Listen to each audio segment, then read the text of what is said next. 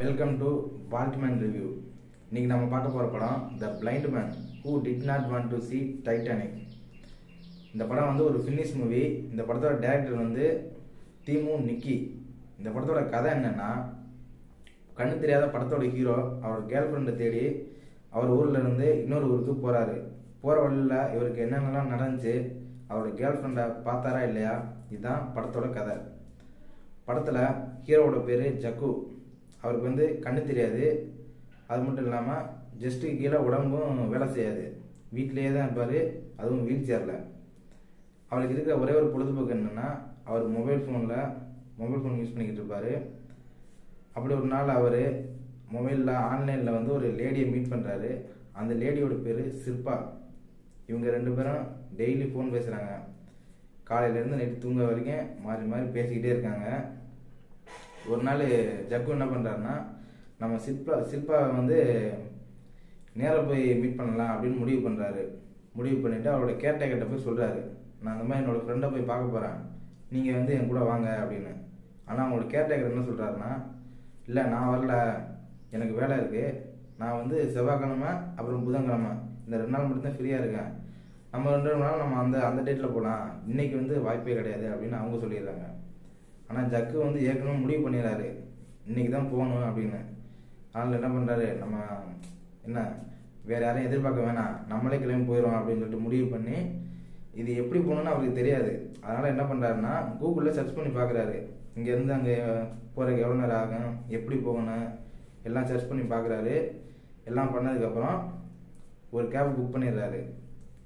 அவர் என்ன பண்ணுறாருன்னா முதல்ல வீட்டிலேருந்து கேப் பிடிச்சி ரயில்வே ஸ்டேஷனுக்கு போயிடுறாரு. அங்கேருந்து ஒரு ட்ரெயின் பிடிச்சி அங்கே சிற் சிற்பா இருக்காங்கல்ல அவங்க ஊருக்கு போய் இறங்கிட்டு அங்கேருந்து டாக்ஸி பிடிச்சி சிற்பா வீட்டுக்கு போகிறது தான் அவரோட பிளான் அது மாதிரி என்ன பண்ணுறாரு டாக்ஸி பிடிச்சி ஒரு நல்லா ரயில்வே ஸ்டேஷனுக்கு போயிடுறாரு. அங்கே கொஞ்ச நேரம் வெயிட் பண்ணி ஒரு ட்ரெயின் வருது அந்த ட்ரெயினில் ஏறி சிற்பாவோட ஊருக்கு போய்கிட்டு இருக்காரு. ட்ரெயினில் போய்கிட்டு இருக்கும்போது என்னன்னா அப்படியே தூங்கிடுறாரு அவர். தூங்கிட்டு கொஞ்ச நேரம் கழிச்சு எந்திரிச்சு பார்க்குறாரு அவரோட மொபைலை காணாம். எல்லாம் பாக்கெட்டில் எல்லா இடத்தையும் செக் பண்ணி பார்க்குறாரு எங்கேயுமே இல்லை. அப்போ பக்கத்தில் உட்காந்துருக்க ஒருத்தர்கிட்ட கேட்குறாரு அவர் மொபைல் வச்சுருந்தா அதை காணாம் கீழே ஏதாவது இருந்தால் எடுத்து கொடுங்க அப்படின்னு. அவர் சொல்கிறாரு கீழே மொபைல் எதுவும் இல்லை அப்படின்னு அவரும் சொல்லிடுறாரு இதில் ஹீரோக்கு ரொம்ப அப்செட் ஆயிடுது அப்போ ஹீரோ சொல்கிறாரு என் ஸ்டேஷன் வந்தோடனே என்னை வந்து ஸ்டேஷனில் ட்ரெயின்லேருந்து கீழே இறக்கி ஒரு டாக்ஸியில் ஏற்றி விட்டுருங்க அப்படின்னு சொல்லிட்டாரு அவனும் சரி அப்படின்னு சொல்லிடுறாங்க. இப்போ அவரோட ஸ்டேஷன் வந்துடுது ஹீரோவை அவர் பக்கத்தில் உள்ளவர் வந்து வீல் சேர்லேருந்து இறக்கி டாக்ஸிக்கு ஏற்றிக்கிட்டு போய்கிட்டு இருக்காரு. அப்போ என்னன்னா சில்பா வந்து அந்த டயத்தில் ஜக்குவுக்கு கால் பண்ணுறாங்க ஜக்குவோட மொபைல் ரிங் ஆகுது. அது எங்கேருந்து வருதுன்னா வீல் சேர் தள்ளிக்கிட்டு வர்றாருல அவரோட பாக்கெட்லேருந்து ரிங் ஆகுது. ஜக்குக்கு ஒரே ஏன்னா நம்ம செல்லு வந்து இவன் பாக்கெட்டில் தடுத்திருக்கு அப்படின்னு அவருக்கு ரொம்ப சாக்காயிடுறாரு அது மட்டும் இல்லை இவன் நம்மளை கடத்திட்டு போகிறான் எங்கேயோ அப்படின்னு அவருக்கு தெரியுது.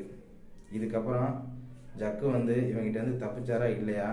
சிற்பாவை போய் மீட் பண்ணாரா இல்லையா? இதுதான் படத்தோட கதை. படத்தில் ஜக்குவா நடித்த ஒரு பேர் வந்து பீட்ரி புலைனன். படத்தில் ஆரம்பத்துலேருந்து எழுதி வரைக்கும் அவர் ஒரு ஆள் தான். அவர் ஒரு ஆள் தான் அவரோட ஃபே அவர் அவரோட ஃபேஸை மட்டும்தான் காட்டவே செய்வாங்க படத்தில். சிங்கிள் ஆனராக பெர்ஃபார்ம் பண்ணியிருக்காரு. அவுட்ஸ்டாண்டிங் படத்தில் இன்னொன்று முக்கியமான விஷயம் என்னென்னா சினிமாட்டோகிராஃபி. இதில் வந்து ஒரு புதுசாக ஒரு விஷயத்தை ட்ரை பண்ணியிருக்காங்க. அது என்னென்னா படத்தில் வந்து நம்ம ஹீரோவோட ஃபேஸை மட்டும்தான் பார்க்கவே முடியும். மீதி எல்லாமே மீதி எல்லா பொருளுமே பிளராக தான் தெரியும். இந்த படத்தோட சினிமோட்டோகிராஃபி வந்து யாருன்னா சாரி ஆல்டனான் அவங்க வந்து ஒரு லேடி அவங்க தான் சினிமோட்டோகிராஃபரு. சூப்பராக பண்ணியிருக்காங்க. வித்தியாசமாக ட்ரை பண்ணியிருக்காங்க. படத்தில் இன்னொன்று எனக்கு பர்சனலாக பிடிச்சது என்னென்னா படத்தோட ஓப்பனிங் கிரெடிட்ஸ் ஓப்பனிங் கிரெடிட்ஸ் மற்ற படங்கள்லாம் எப்படி வரும்னா சும்மா ஒன்று இங்கிலீஷில் வரும் இல்லை அந்த நாட்டு லாங்குவேஜ் என்னன்னோ அதில் வரும். ஆக்டர் யார்? ஹீரோ யார்? டைரக்டர் மியூசிக் டைரக்டர் சினிமாட்டோகிராஃபி இந்த மாதிரி வரும். ஆனால் இந்த படத்தில் வந்து எல்லாமே பிரைலில் வரும்.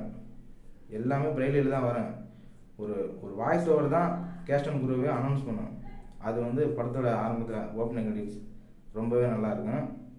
இந்த படம் வந்து எல்லாருமே பார்க்க வேண்டிய ஒரு மஸ்ட் வாட்ச் மூவி இந்த வீடியோ உங்களுக்கு பிடிச்சிருந்தீங்கன்னா சப்ஸ்கிரைப் பண்ணுங்கள் லைக் பண்ணுங்கள் உங்களோட ஃப்ரெண்ட்ஸ் எல்லோரும் ஷேர் பண்ணுங்கள் தேங்க்யூ